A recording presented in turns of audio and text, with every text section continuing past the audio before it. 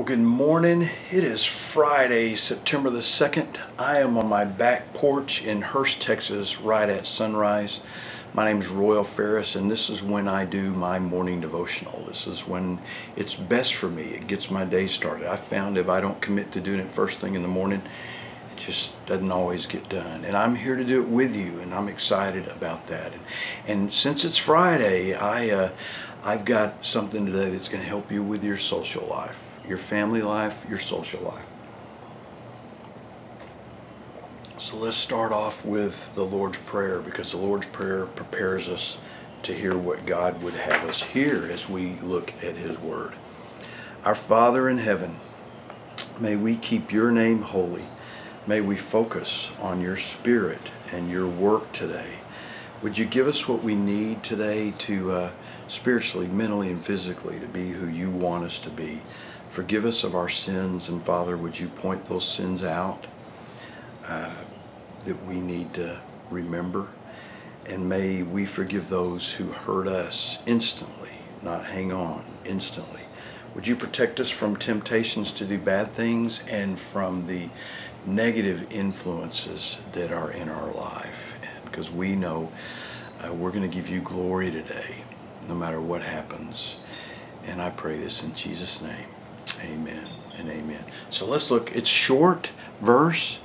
Um, it's clear. Uh,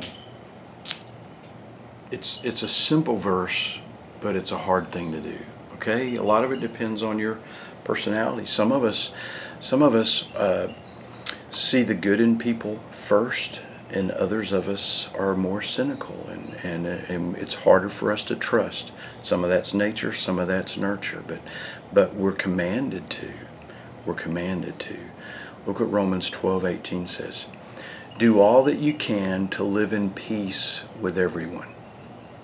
Do all that you can to live in peace with everyone. See, here's the deal. When we're when we're at war or when we're not in peace with someone or when there is conflict with someone, we're always very quick to uh, justify it because they started it because it's about them. But no, we have a responsibility. As followers of Christ, we're to be in peace with everyone. Why? Why is that so important? Well, it's because of our influence. We're here to represent God. We're here to be God's love with skin.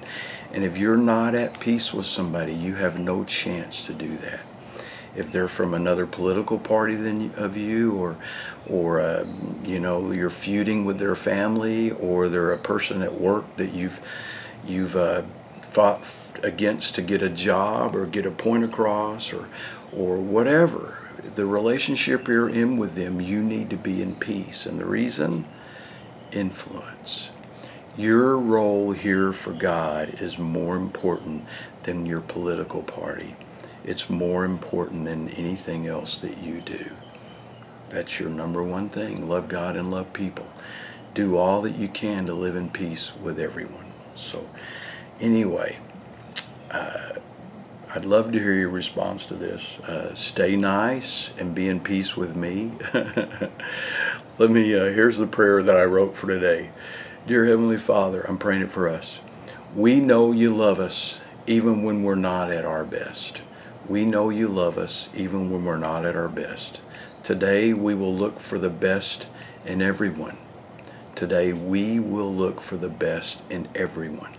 We will do all we can to be at peace with all people, even those who want to be our enemies. We will let you take care of judgment and consequences. Can you do that? We will let you take care of judgment and consequences. This is so important now. I see people all the time making enemies on Facebook just because somebody else believes something politically different than they do. So anyway, I hope this helps you. I'd love to hear your responses or your comments. Um, please keep them nice. And um, share this. Somebody you know may need to hear this. Uh, but even in your family, whatever, be at peace with everyone. It will make all the difference. It will give you peace, and it will give you influence that you'll never have when you're angry or when you're in an argument with them. Thank you so much for watching. I hope to see you Monday. I'm excited. Monday I'm going to do a, whole the whole week on Peter stepping out of the boat with Jesus. It's pretty awesome. Uh, my name is Royal Farris. I'm pastor of Life Connection Church. If you don't have a home church, would you be my guest this Sunday at 9:15 or 11 o'clock? If not, I will see you Friday, the good Lord willing, and the creek don't rise.